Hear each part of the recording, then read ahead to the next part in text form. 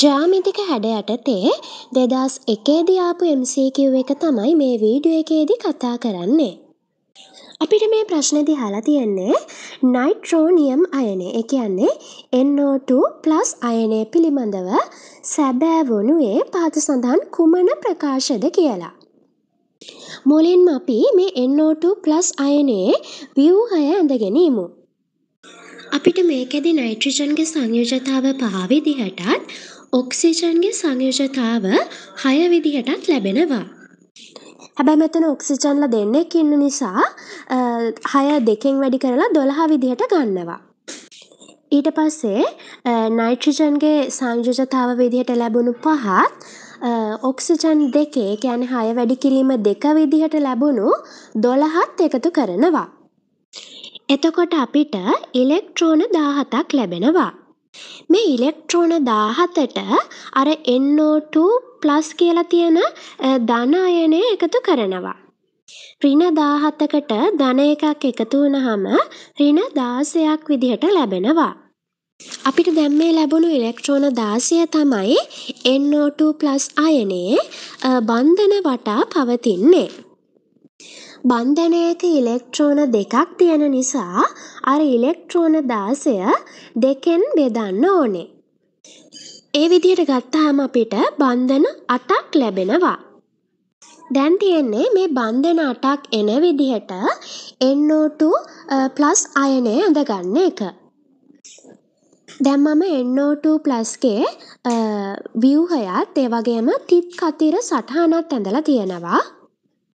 එහෙනම් අපි මේක ඇසුරෙන් අර අහලා තියෙන ප්‍රකාශයන් හරිද වැරදිද කියලා බලමු. මේකෙදි ඒ කොටසෙන් කියනවා එහි හැඩය සරල රේඛීය වෙයි කියලා. මේ නයිට්‍රජන් ගත්තහම එයාගේ සිග්මා බන්ධන දෙකකුත් ෆයි බන්ධන දෙකකුත් දකින්නට ලැබෙනවා. සිග්මා බන්ධන නිල් පාටිනුත් ෆයි බන්ධන කොළ පාටිනුත් පෙන්වලා තියෙනවා. ඒ වගේම නයිට්‍රජන් වටා එකසර ඉලෙක්ට්‍රෝන යුගල් දක්නට ලැබෙන්නේ නෑ.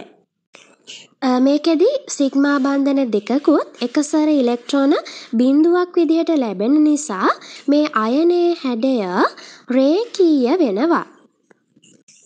ඩී ප්‍රකාශයේදී කියන්නේ එහි ඇත්තේ සිග්මා බන්ධන පමණි කියලා. ඒක වැරදි. දැන් මම මුලින් කතා කරා මේ නයිට්‍රජන් වටා සිග්මා බන්ධනත් ෆයි බන්ධනත් දක්නට ලැබෙනවා කියලා. සී ප්‍රකාශයේදී කියන්නේ එහි හැඩය කෝනික වෙයි කියලා. ඒකත් වැරදි. මොකද පළවෙනි ප්‍රකාශයේදී අපි කිව්වා මේ NO2+ අයනයේ හැඩය සරල රේඛීය වෙයි කියලා. ඩී ප්‍රකාශයේදී කියන්නේ නයිට්‍රජන්හි සංයුජතා කවචයේ ඉලෙක්ට්‍රෝන අටකට වඩා අඩුවෙන් පවතී කියලා. භූමි අවස්ථාවේ පවතින නයිට්‍රජන් පරමාණුවකට නම් මේ ඩී ප්‍රකාශය සත්‍ය වෙනවා. මොකද භූමි අවස්ථාවේදී නයිට්‍රජන්ගේ සංයුජතා කවචයේ ඉලෙක්ට්‍රෝන පහයි තියෙන්නේ. හැබැයි මෙතනදී අහලා තියෙන්නේ NO2+ ගේ තියෙන නයිට්‍රජන් අයනය ගැන. මේ NO2+ අයනය ගත්තොත් ඒකේ සියලුම පරමාණු වටා සංයුජ ඉලෙක්ට්‍රෝන අට බැගින් පිහිටලා තියෙනවා. ඒ නිසා මේ ඩී ප්‍රකාශය අසත්‍ය වෙනවා. මේකෙදි සත්‍ය ප්‍රකාශ තමා අහලා තියෙන්නේ.